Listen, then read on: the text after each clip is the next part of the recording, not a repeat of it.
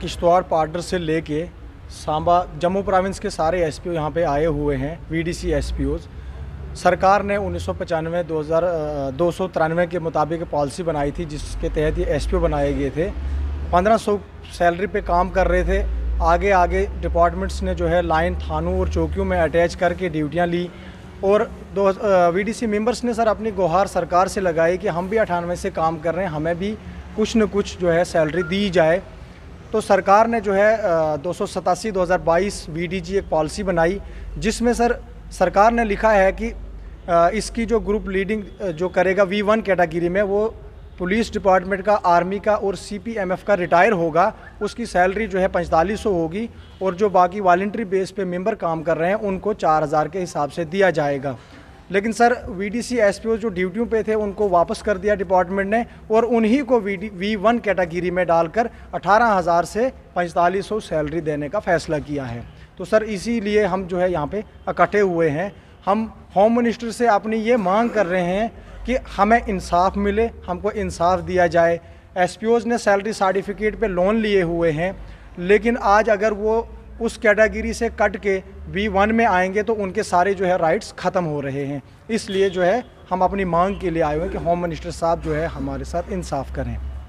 Sir, ये जो BDC की पॉलिसी बनी थी, ये उन्नीस में बनी थी और एस आर ओ के तहत हमें लगाया गया था। और ये जो बीडीसी थी, इसका तो शुरुआती में था कि हमें पता नहीं था कि ये बीडीसी का क्या सिस्टम है, कैसे बनाई गई है। हम ड्यूटियाँ करते थे और जो तनख्वाह मिलती थी हमें वो चौकी थानों में से, वहाँ से चौकी थाने में से ही डिवाइड करके मिलती थी, ना कि हमें अलग अलग देती मिलती थी। लेकिन उन्होंने क्या किया कि जब हम एसपीओ, कुछ लड़के थे, उनको एसपीओ नंबर अलाट कर दिए। वो एसपीओ हो गए और उनकी ट्रांसफरें करके थाना चौकियों में अटैच किया गया। थाना चौकियों में अटैच करने के बाद हमारी जो सैलरी है, वो हमारे अकाउंट में आना शुरू हो गई। जब से हमारे अकाउंट में सैलरी आना शुरू हुई है, हमने कोई डिवाइड नहीं की है और हम लगातार ड्यूटियाँ करते आ रहे हैं। और तकरीबन हमें ड्यूटियाँ करते हुए बी, किसी की 20 साल सर्विस हुई है, किसी की 22 साल सर्विस हुए, हुई है।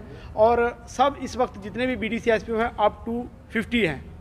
और हम तब से ड्यूटियाँ कर रहे थे। लेकिन जब ये जो नई पॉलिसी आई है वी डी जी की, इसमें V D C S P O का कोई भी ज़िक्र नहीं है, कोई कुछ नहीं है लिखा है।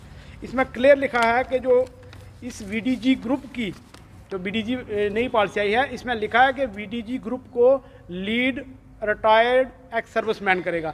और एस पी ओ का इसमें कोई खाता नहीं है। लेकिन अब सरकार ने क्या कर दिया है कि जो एस पी ओ ड्यूटियाँ कर रहे थे, उनको नौकरी से डाउन करके दोबारा गाँव में बढ़ाया है। और अब हमें बोलते हैं कि आप एस पी ओ जो है, वो इनके साथ लीड करो और ग्रुप में शामिल हो जाओ। और हमारी जो सैलरी है, वो कट के वीडीसी मेंबरों को दी जा रही है। लेकिन हम चाहते हैं सर के जो वीडीसी मेंबर हैं, उनको अलग सैलरी दें। और जो हमारी सैलरी है, वो कटनी नहीं चाहिए सर। हमारा जो स्टेटस है, वो एस पी ओ है एस पी ओ ही रहना चाहिए सर। हमारी ये डिमांड है सरकार से कि हम और हमारा सरकार से, हमारी सरकार से यही दरख्वास्त है कि एक ज़रूर ध्यान रखें कि हमने लोन लिए हुए हैं, हमारे बच्चे पढ़ रहे हैं। इस वक्त बहुत महँगाई का टाइम है। और हमारे बारे में ज़रूर सोचें कि सरकार ने सेंटर से क्या पॉलिसी इम्प्लीमेंट की थी और यहाँ क्या आके लागू हो रही है और आगे और क्या हो रहा है इस पर थोड़ा ध्यान दें और ज़रूर हमारी उम्र का और हमारे बच्चों का और हमारी का गरी, हमारी गरीबी का लिहाज रखते हुए ज़रूर हमारे इस पर नज़रसानी करें। जो बी डी ओ है ना इनको पहले ड्यूटी उन्नीस में लगाया गया था दो सौ तिरानवे के तहत। पहले इनकी ड्यूटी पुलिस चौकी में ली जाती थी और ज़बरदस्त इनको पैसा मेम्बरों को दिलाया जाता था। उसके बाद जब 2018 हुआ, इन्होंने हमारे को गाँव से उठाकर चौकी और स्पेशल ड्यूटी पे लगा दिया।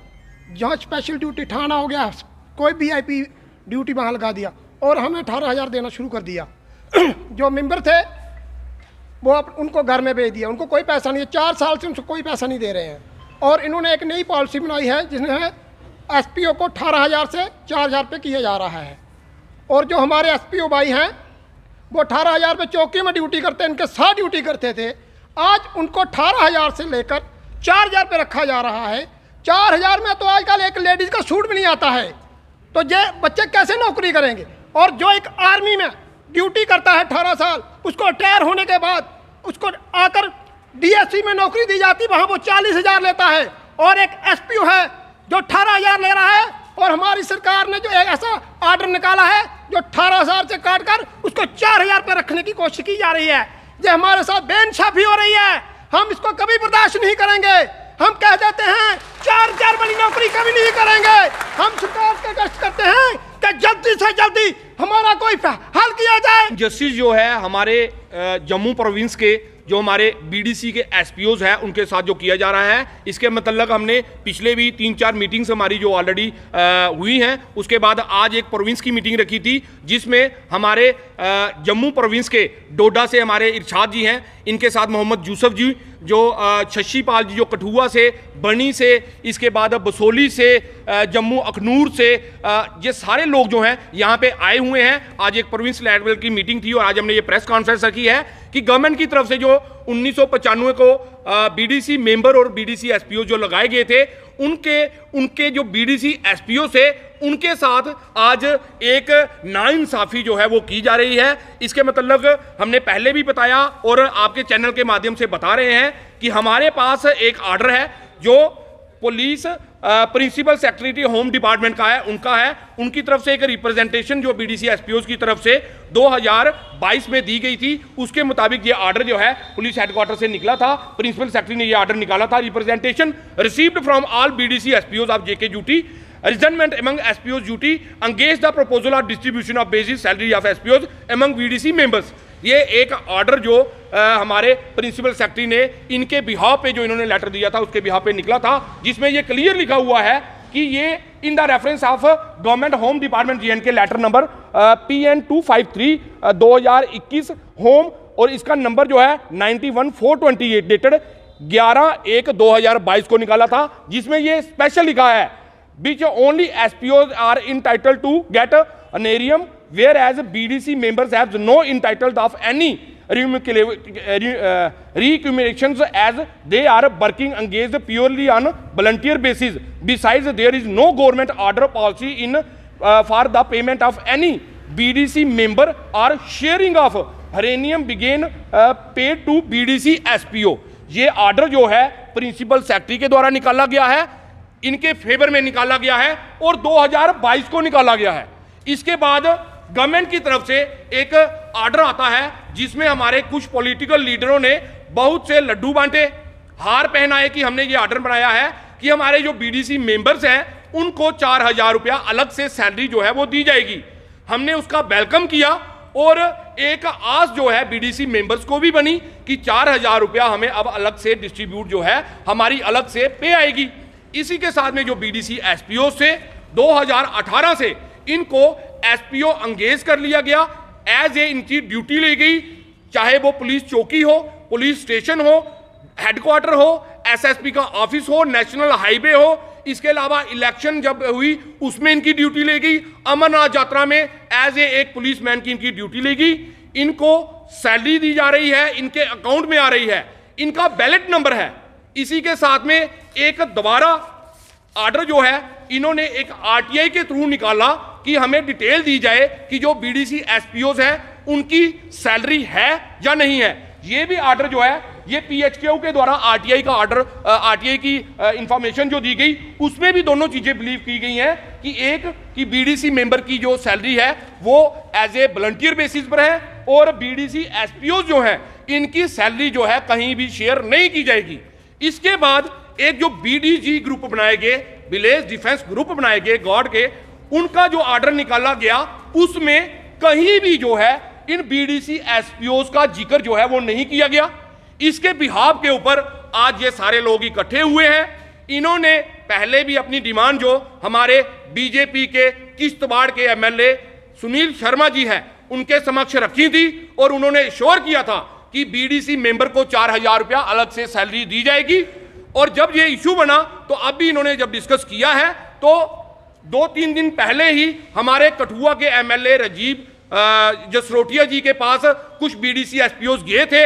उन्होंने टेलीफोनिकली जब उनसे बात की तो सुनील कुमार जी का आ, कहना है कि आ, हमारे एमएलए साहब का कहना है कि इनकी जो पे है वो जो ऑर्डर निकला है उसमें कुछ गलती हो गई है। उस ऑर्डर की अमीनमेंट करवानी है। हमारी ये जो लड़ाई है हमारा ये जो प्रदर्शन है, हमारे जो सारे लोग जो जम्मू प्रोविंस के इकट्ठे हुए हैं, ये सिर्फ़ एक ही बात की हमारी डिमांड है कि जो ऑर्डर जो चाहे वो होम डिपार्टमेंट की तरफ़ से हो, चाहे वो आरटीआई के माध्यम से हो, चाहे वो उन्नीस की बनी हुई हमारी जो बीडीसी है, उसके तहत हो, हमारे साथ जस्टिस होना चाहिए। इसके मतलब जम्मू में आगे ही पूरे डिपार्टमेंट चाहे उसमें पीएचई पीडीडी, आंगनवाड़ी, मनरेगा वाले जहाँ हमारे एनआरएचएम के एम्प्लॉइज रैपरे खेल के एम्प्लॉइज रैपरे तालीम, रैपरे जंगलात के एम्प्लॉइज जो हैं, वो सारे लोग प्रोटेस्ट में बैठे हुए हैं। जम्मू में कोई सुनने वाला नहीं है। यूटी एडमिनिस्ट्रेशन कहीं ना कहीं फेल हो चुकी है। इसलिए आज हमारी ये फाइनल मीटिंग थी। हम दिल्ली के लिए कूच करेंगे। वहाँ पे प्रधानमंत्री जी, हमारे गृह मंत्री जी हमारे डॉक्टर पीएमओ जतिंदर सिंह जी, ये सिर्फ़ पॉलिटिकल पार्टीज़ के या देश के लीडर नहीं, हम सभी बीडीसी के मेंबर हम गरीबों के भी लीडर हैं। हमें वहाँ पे एक, दो, पाँच, दस, बीस दिन रहना पड़ा।